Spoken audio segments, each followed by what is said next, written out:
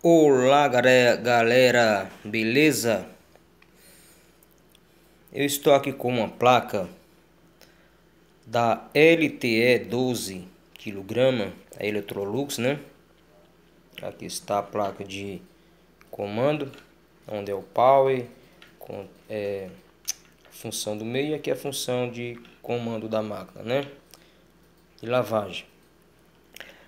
estou com essa placa aqui, a qual eu peguei essa placa e essa placa nova tá 200 reais em média de 200 reais. Paralela em média de 130 dependendo do lugar até 150 reais né? Conforme vocês veem aqui eu tirei o esmalte dela né? Aqui ó. Tirei o esmalte. É o silicone é um, uma borracha silicone que protege o circuito para fazer manutenção tiro essa silicone e aqui a gente faz a revisão. Nessa placa estava acontecendo o seguinte devido a um curto-circuito que aconteceu na rede elétrica ela queimou.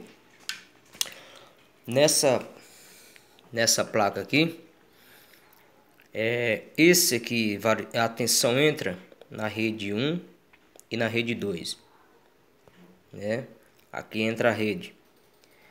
E deixa eu botar o celular na posição de filmagem acho que vai ficar pequeno o vídeo. Pronto.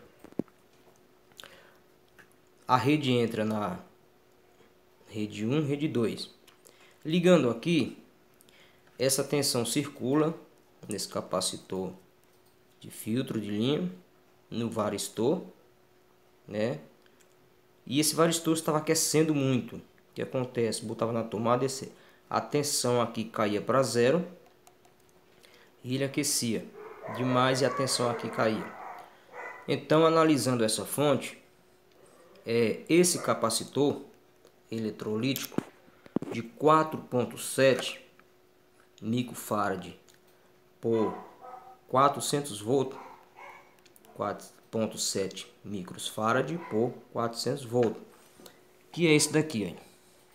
Deixa eu ver se eu vejo ele aqui. Esse capacitorzinho aqui, ó. Ele é 4.7 microfarad por 400 volts de tensão. Esse capacitor, ele estava em curto-circuito. Tirando esse capacitor e analisando o regulador de tensão, que é o... Não vai dar para mostrar aqui, mas ele é esse código aqui, ó ele é o N LNK LNK 306PN. É o regulador de tensão de fonte que faz a função power da fonte, certo? Com esse regulador queimado, a fonte não ligava. Então, eu continuando medindo os componentes associados a ele, como um diodo, como é, esse outro diodo aqui, os capacitor. Também medi aqui o regulador, aqui, o regulador menos 5 volts. Ambos estão trabalhando normal, estavam tudo ok. Os dois triac, que faz a função de potência do motor, também não tinha curto-circuito, ambos estavam trabalhando, então, estão normal, né? Então o que acontece?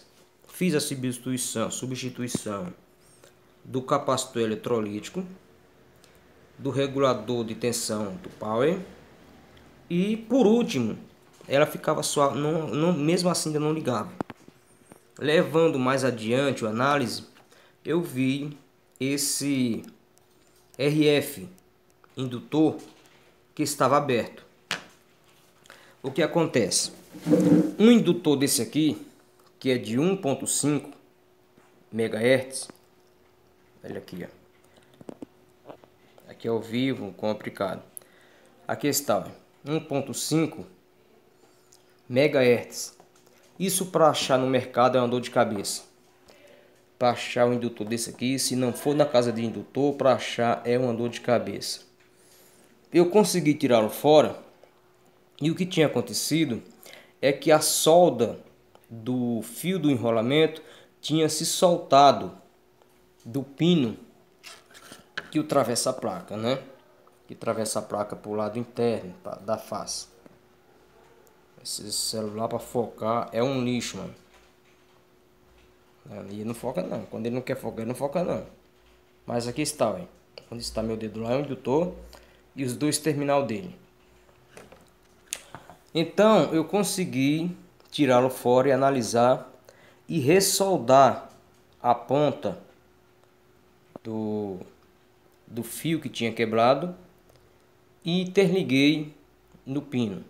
Fiz a soldagem com cuidado e ele está funcionando.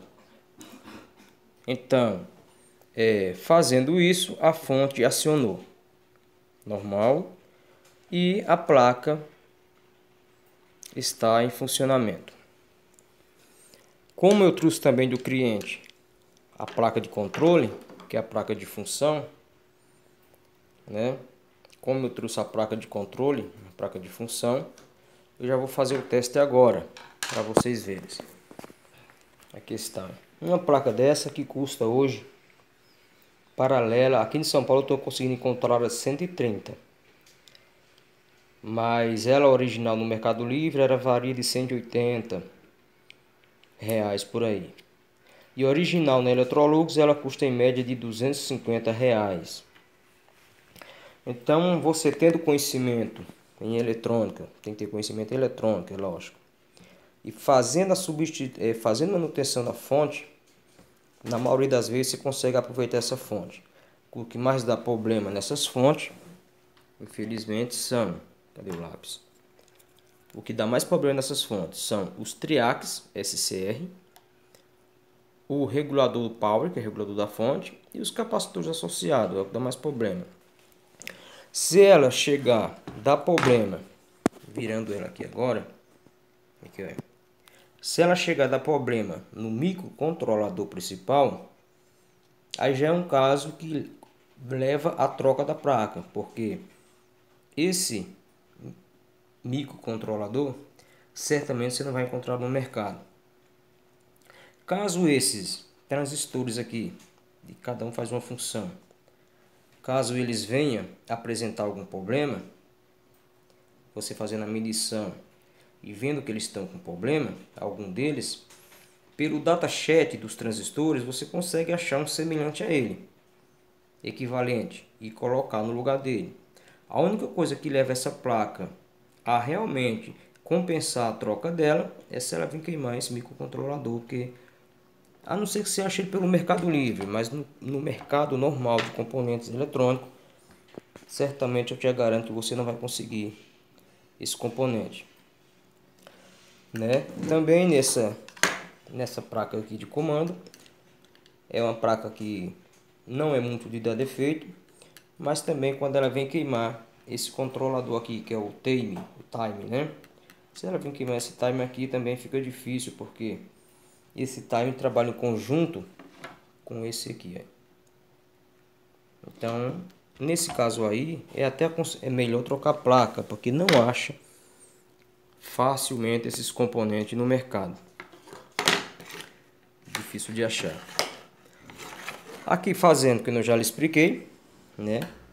foi, foi, foi substituído um capacitor 4.7 microfarad 400 volts, o controlador power, controlador da fonte power, feita a revisão nesse indutor, porque se eu não tivesse conseguido fazer a revisão nele da ressolda